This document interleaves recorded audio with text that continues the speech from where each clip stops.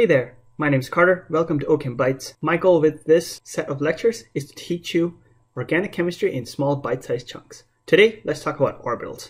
Here's part one, part two will be coming soon. All right, so the key is that electrons want to be as close to the nucleus as possible. So they tend to fill up slots that are as close to the nucleus first, and slowly they'll go further and further away as you add more and more electrons. So remember, closer to the nucleus is better. But how do you really know where the electrons are going to be if they just want to be as close to the nucleus as possible. This is defined by Schrodinger's wave equation. We can treat electrons as either particles or as waves, and using Schrodinger's wave equation, we can figure out the probability of where the electrons will be by using orbitals. So orbitals tell you 95% of the time where the electron is going to be. The trick is that every electron has a quantum number and this quantum number tells you where it's going to be with that 95% probability. So let's go through the quantum numbers. Just remember, every electron can be defined by a set of quantum numbers. And one of the first parts of it is called n. So this is the principal quantum number. This tells you the energy level. Essentially, how close is it to the nucleus. N can be 1, 2, 3, etc. It can change based on how big the atom is. Another quantum number is L.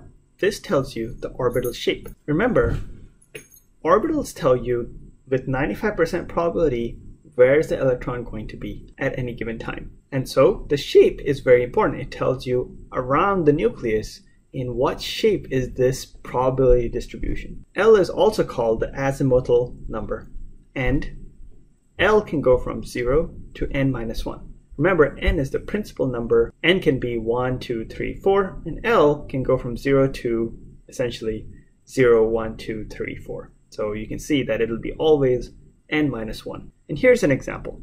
If n is 2, then L can be 0, or it can be n minus 1, which is 1. Hopefully, that's simple enough. Another quantum number is m. m tells you the orbital orientation. I'll show you later that while L tells you what the orbital shape looks like, now that shape can actually move around in 3D space, and that is defined by M.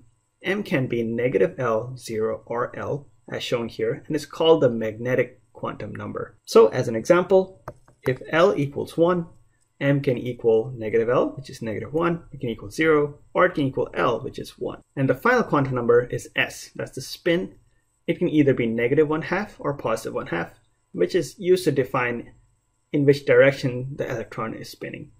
This is also called the spin quantum number. Alright, so now we go into the key part of this lecture, which is the orbital shape. Remember that n tells you how close the electron is to the nucleus, and L, which is equal to all the way from 0 to n minus 1, will tell you the orbital shape. So if L equals 0, we actually give that a special name, that's called the s orbital and it looks like this. What this means is, imagine you put the protons and the neutrons in the middle between the x, y, and z axis. Then the s orbital is this sphere which tells you that this electron can be anywhere within that sphere with 95% probability. L can also be 1. Remember, then L goes from 0 to n minus 1. And if n equals 2, then it's possible for L to equal 1 we give L equal to 1 a special name, which is the p orbital. And the p orbital looks kind of like a teardrop. Here what you see are three orientations of the p orbital. There's p sub x, there's p sub y, and there's p sub z. Why do these exist? Remember that there's another quantum number called m, which tells you the orientation of the orbital. So with the s orbital, which was the same as L equals 0, m was limited to 0. With L equals 1, now m can be negative 1, 0, or positive 1.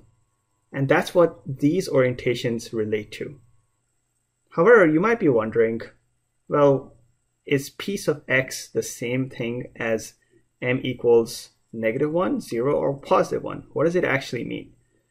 That's a little bit more complicated to answer, and it's not part of this lecture, but you should look it up. It's an interesting thing to think about. You usually don't get tested on this within organic chemistry, so it doesn't really matter. But if you're curious, look it up. For p sub x and for p sub y, m is 50% negative 1 and 50% positive 1. But that's for you to look up and for you to discover. That's it for this lecture. Remember that orbitals tell you 95% of the time where is this electron going to be. And the quantum numbers are used to define the shape of that probability distribution, where those electrons are going to be around the nucleus. It's as simple as that. In our next part of the same orbital series, we're going to talk a little bit more detail about the orbitals. Hope to see you there. Talk to you later.